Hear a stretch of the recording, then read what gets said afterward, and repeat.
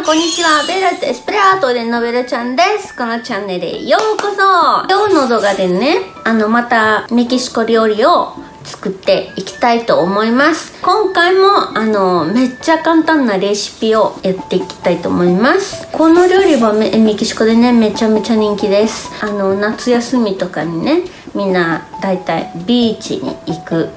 でビーチに行ったらほぼシーフード、まあ、いつでも食べ食べていいんだけど夏休みの方が人気人気です。ということでまあ作りましょうか。材料はこんな感じです。メカンチリスーパーで売ってると思います。辛いのが好きじゃない人はまあ、入れなくても大丈夫です。使わなくても大丈夫。あとトマトはでかいトマト1個。玉ねぎあの4分の1パクチパクチーも好きじゃない人はもう入れなくていいんだけど、まあ、これは本物のあのレシピです。メキシコではねパクチーとチリよく使うから、まあ、これはない場合はもうメキシコ料理ではないかもしれないけど好きな感じで作っても大丈夫です。オリーブオイルとあの塩コショウあとレモン作りましょうか。全部ここに入れます。順番は関係ないから好きな感じで入れていいです。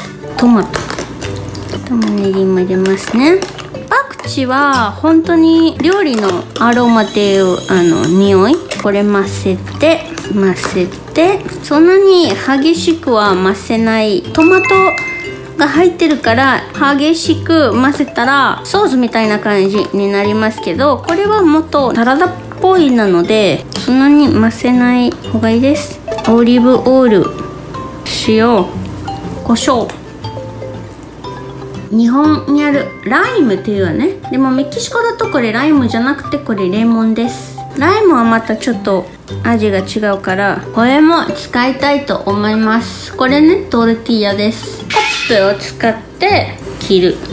でこんな感じになります。ちっちゃいトルティーヤになりました。ハセビーチめっちゃ美味しい。ちょっとだけ食べるね。すごく美味しい。このままでも食べても全然大丈夫。オリーブオイル使ってる。からこれここに置いてこんな感じ。フライします。まあ、っていうことで出来上がりです。美味しそうじゃない？トッピング入れたい場合とかね。まあ私はアボカド入れたけどタバスコとかメキシコソースあとチリペッパーとかね。いい美味しい美味しい美味しい。まあこれです。でじゃあトースターの上にのせてアボカドでレモン好きだからちょっとレモンもっと入れる。こんな感じです。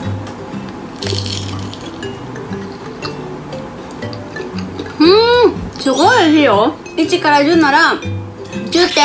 本当に10点チの匂いめっちゃいいしトマトとオリーブオイルの味がめっちゃいいです。あとマヨネーズとかもいろんなトッピングはね上に置けるから、まあ、それはみんなの好きなトッピングを入れても大丈夫です。これめっちゃおすすめです。サラダみたいな感じで食べてみて。で食べてみた人がコメントとかまあ食べてない人でもねもう誰でもあのコメントになんか質問とかあればまあ何でもいいからあのコメントを置いてください。あとこの動画いいなと思ったらチャンネル登録と高評価忘れないでください。ありがとうございます。いただきます。アディオス